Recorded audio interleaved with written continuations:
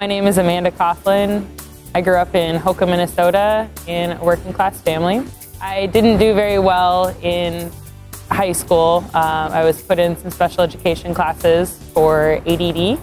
At 17 years old, I decided that I was going to drop out of high school altogether and uh, I moved five hours away from my family for about a year. When I moved back, I didn't really care to finish my high school education at that point, but I knew that that was something that I would need to, and it was it was kind of embarrassing if people would ask me where I graduated high school from. I didn't want to say that I dropped out. At that time, I was working for fast food places mostly. Um, I, I worked for quite a few different fast food restaurants and really wasn't living up to my full potential. I knew it then, uh, but I didn't really know what else I could do without a high school diploma.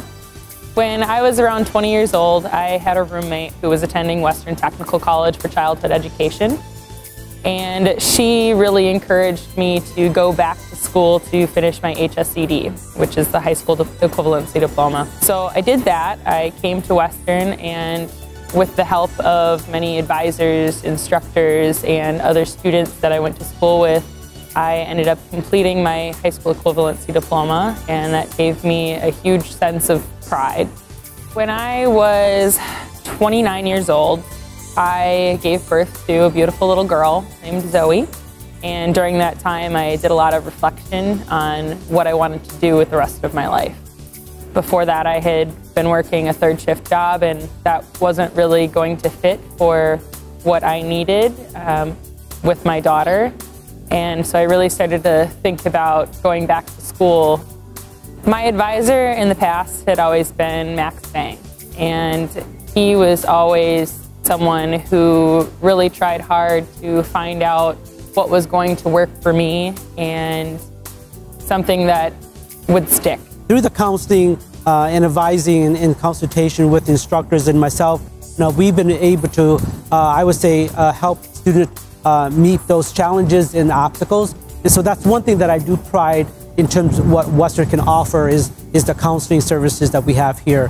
One of the things that I always really enjoyed doing was helping friends and family working with their computers, smartphones, things of that nature. And so I thought that pursuing a career in uh, computer support would be a very good move for me.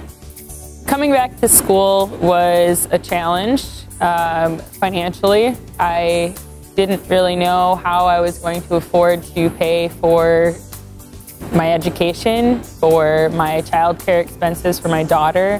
One of the resources that helped me immensely came from the uh, financial aid department and uh, the scholarships that I received.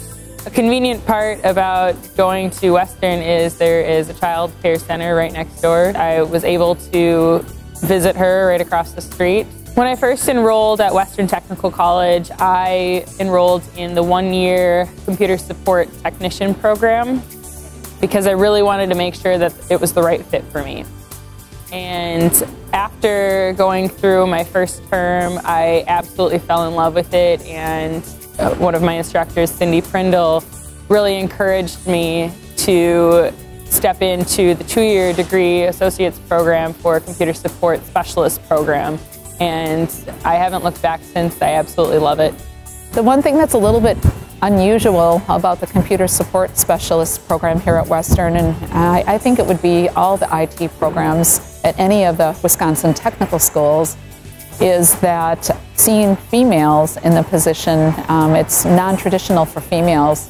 So in many of the classes, you may have one or two women in the class, so the women that really do make it, um, they, they, they work very hard and they're breaking the barriers and I think it just really makes them stronger and better people in the workforce. Cindy Prindle, her energy in the classroom is hard to compare. She absolutely makes you feel welcome and makes you feel like you can do anything. This past fall, I applied for a job and one of the things that really stood out to them was the fact that I was going to school for IT and being a woman in a male dominated field, it wasn't as common for them to see that. And many of the skills that I had already learned really helped to get the position that I wanted and I have already been given the opportunity for advancement. Before going to school, I really didn't know what kind of job that I could get outside of working as a server or a bartender or in the service industry in general. And now I feel like I can do anything. When I came to Western, I really wanted to make a better future, not just for myself, but for my daughter. I wanted her to see more than just a high school dropout. And I wanted to do something more. I wanted her to be proud of me. I wanted to be proud of myself. I am proud of myself and the accomplishments that I've made while coming to Western. I've done things now that I never dreamed that I would do. Becoming student ambassador was one of those things. And I am so proud of it. My family and my friends are incredibly supportive and incredibly proud of me. And that feels good.